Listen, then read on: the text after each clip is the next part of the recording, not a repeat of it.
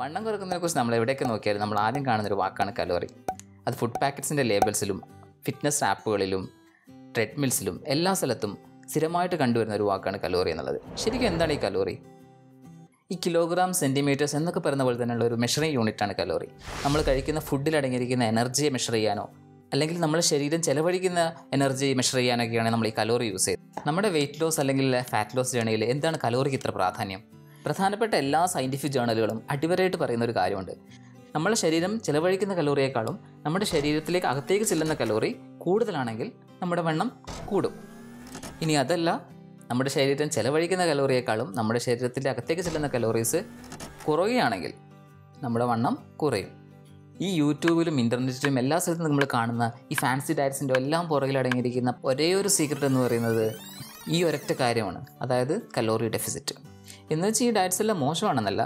ഇതിലെ നല്ല ഡയറ്റുകൾ കലോറി ഡെഫിസിറ്റിലേക്ക് നമ്മളെ പെട്ടെന്ന് എത്തിക്കാൻ സഹായിക്കും. നമ്മൾ വെറുതെ ഇരിക്കുമ്പോഴാണ് എഴുപത് ശതമാനം കലോറീസും ബേൺ ചെയ്യുന്നത്. അതിനാണ് ബേസിക് മെറ്റബോളിക് റേറ്റ് എന്നൊക്കെ പറയുന്നത് ഇനി ഇരുപത് ശതമാനം ചിലവഴിക്കുന്നത് നമ്മുടെ ഫിസിക്കൽ ആക്ടിവിറ്റീസിലൂടെയാണ് അത് വെറും ജിമ്മിൽ പോയിട്ട് മാത്രമുള്ള ഫിസിക്കൽ ആക്ടിവിറ്റീസ് അല്ല നമ്മൾ വെറുതെ നടക്കുമ്പോഴോ ഇരിക്കുമ്പോഴോ എന്തിന് വെറുതെ നിൽക്കുമ്പോൾ പോലും കലോറീസ് ബേൺ ആവുന്നുണ്ട്.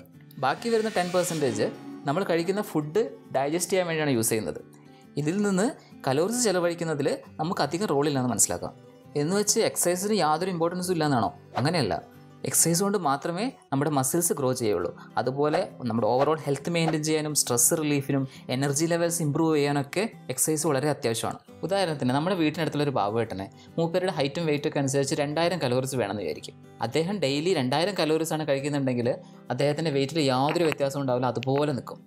ഇനി അതല്ല രണ്ടായിരം കലോറീസിനെക്കാട്ടിയും കൂടുതൽ ഒരു രണ്ടായിരത്തി അഞ്ഞൂറ് കലോറീസ് കഴിക്കുകയാണെന്നുണ്ടെങ്കിൽ അദ്ദേഹത്തിന്റെ വെയിറ്റ് കൂടും. അതുമല്ല ഒരു ആയിരത്തഞ്ഞൂറ് കലോറീസ് മാത്രമേ അദ്ദേഹം കഴിക്കുന്നുള്ളൂ എന്നുണ്ടെങ്കിൽ അദ്ദേഹത്തിന്റെ വെയിറ്റ് കുറയും.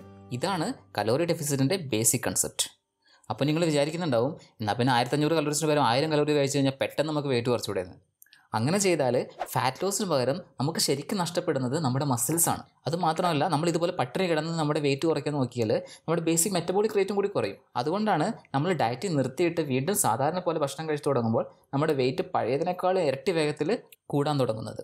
അത് മാത്രമല്ല നമ്മുടെ ശരീരത്തിന് ആവശ്യമുള്ള ന്യൂട്രിയൻസ് ഒന്നും തന്നെ കിട്ടാതെയായി പോകും. പിന്നെയും ഹെൽത്ത് റിലേറ്റഡുള്ള ധാരാളം പ്രശ്നങ്ങൾ അതിന്റെ പുറകിലുണ്ട്.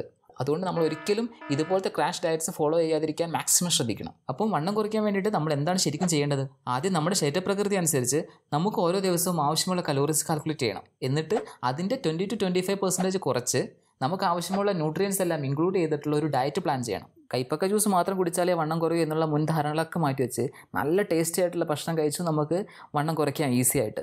നിങ്ങൾക്ക് ഇഷ്ടമുള്ള ഭക്ഷണം തന്നെ ഇൻക്ലൂഡ് ചെയ്ത് അതിൽ ചെറിയ ചില മാറ്റങ്ങളൊക്കെ വരുത്തിയിട്ട് നമുക്ക് ഈസി ആയിട്ട് വണ്ണം കുറയ്ക്കാവുന്നേ ഉള്ളൂ. നമ്മൾ ഓരോരുത്തർക്കും എത്ര കലോറീസ് ആവശ്യമാണെന്നുള്ള ഡീറ്റെയിൽഡ് ആയിട്ട് തന്നെ ഒരു വീഡിയോ നെക്സ്റ്റ് ആയിട്ട് ഞങ്ങൾ ചെയ്യുന്നുണ്ട്. അതുപോലെ വളരെ ടേസ്റ്റി ആയിട്ടുള്ള എന്നാൽ ഹെൽത്തി ആയിട്ടുള്ള റെസിപ്പീസുമായിട്ട് ഞങ്ങൾ ഉടനെ വരുന്നതാണ്. അതുകൊണ്ട് മറക്കാതെ ചാനൽ സബ്സ്ക്രൈബ് ചെയ്യുക. ഇതുവരെ കണ്ട എല്ലാവർക്കും വളരെയധികം നന്ദി.